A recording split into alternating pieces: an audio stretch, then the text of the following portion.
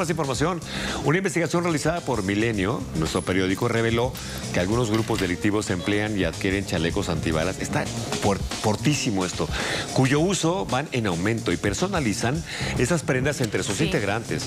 De acuerdo a datos de la Secretaría de la Defensa y la Secretaría de Marina, revela que muchos de los chalecos incautados a grupos delictivos tienen, escuche, tienen las mismas características que los equipos que venden en línea.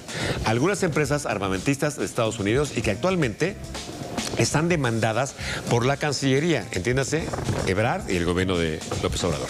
Bueno, este es un tema serio e importante porque los costos de estos productos, de estos chalecos, van desde los 600 mil hasta los 200, a los 2 mil dólares. Entonces, el tipo de entrega lo ponen entre unos 15 días. No piden ningún tipo de requisito al adquirirlos porque algunas de las tiendas incluso ofrecen los llamados Narco Best o chaleco de narco. Llévelo, llévelo, el outfit del Chapo, por supuesto. Sí, ya está, tiene un, ya está, tiene un este, calificativo, ¿no? Sí, lo ven. Narcobest. Narcobest, te dice llévele, llévele. Conocen bien el tipo de clientes, por supuesto, a quién van dirigidos otros. Incluso se enorgullecen de ofrecer todo tipo de tallas. Es como el US Armor Corporation, que asegura tener hasta la talla XXXX grande. 4X. 4X grande. O sea, la talla, para que usted se dé una idea, como de Agustín Cartas. O Porcel, o Vitorino, 120 kilos de rock. Completamente de acuerdo. Para todos. Vamos a decir con todo respeto, una talla big. Grande, completamente claro, de acuerdo. muy grande. Bueno, ya es como jerseys de equipos de béisbol, lo decimos también, claramente, o de fútbol. No dudo que un día haya hasta de local y de visitante. Si vas a Michoacán, vas de visitante. Si estás en Badiraguato, pues estás de local. Bueno, de acuerdo con las autoridades, la, incautación de esos artículos ha ido en aumento en los últimos años, eh, pasando de 63 chalecos en 2018 a 1.438 en 2021. O sea, muy amplia la diferencia. O sea, están súper de moda. Y 706 en lo que va tan solo en este año. Vamos a la mitad. Oh, sí. Estamos a la mitad del año. Pero mi Mao, lo más sorprendente de todo es que algunos grupos delictivos han optado por personalizar estas prendas. Todavía lo hacen más acá, ¿eh? Le ponen algún distintivo o las siglas del grupo pues en los chalecos, tal cual, al que pertenecen. Puede ser el cártel del noroeste, el cártel Jalisco Nueva Generación, quienes también mandan estapar sus chalecos con las siglas de sus organizaciones a todo lo largo de la prenda.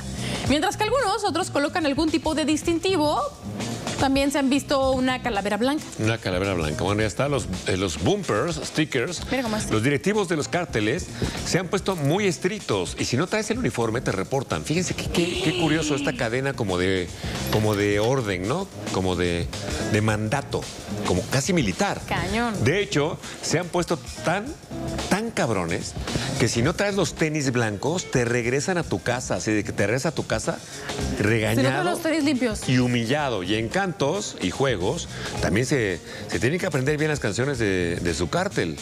Por ejemplo, esta que dice, yo soy el Z40 y yo soy el 36. Hola, soy el Cazuelas. Ahora dime quién eres tú. Dime si lo hice bien. Lo hiciste espectacular. Espectacular. ¿Te pareció? Me encantó.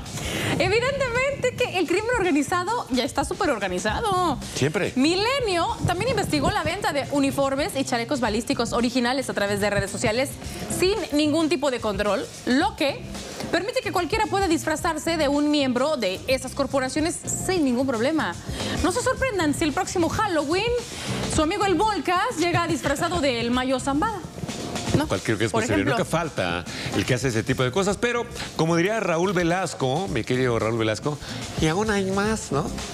Algunos de los productos en venta cuestan 500 pesos, 500 pesos, como un chaleco balístico sin placas de protección, muy similar al usado por la Guardia Nacional. No es caro, porque austeridad, vamos a hablar de la austeridad republicana, y cuyo vendedor entrega en cualquier estación del metro sin costo adicional. Esto que le decimos es cierto, no es broma, ¿eh? Su pedido le será entregado abajo del reloj, ¿no? Abajo del reloj del metro Tacubaya. Ahí son muy claros, fíjate, son muy claros. Muy claros, y ese es uno de los puntos para entregar efectivamente.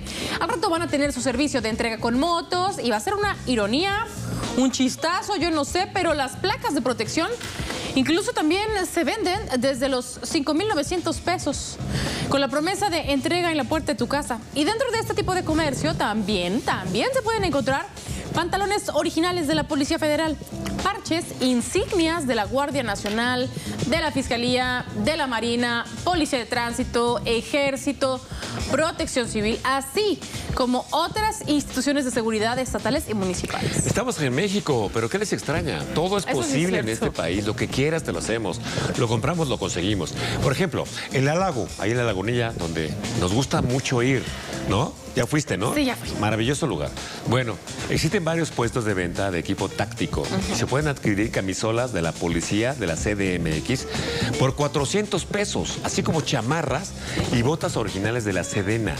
Frente a esto, en la mañanera, eh, el secretario de Marina, Rafael Ojeda, confirmó que la inteligencia naval ya investiga la venta de equipo militar en el crimen organizado a través de redes sociales y plataformas, asegurando que lo adquieren desde varias páginas, muchas de ellas ocultas o de origen americano, es decir, gringo estadounidense.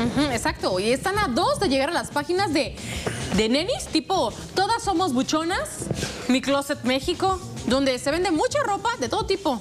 Ahora, Rafael Ojeda también reconoció que algunos elementos de la Marina han vendido directamente los uniformes y equipos de protección a los delincuentes.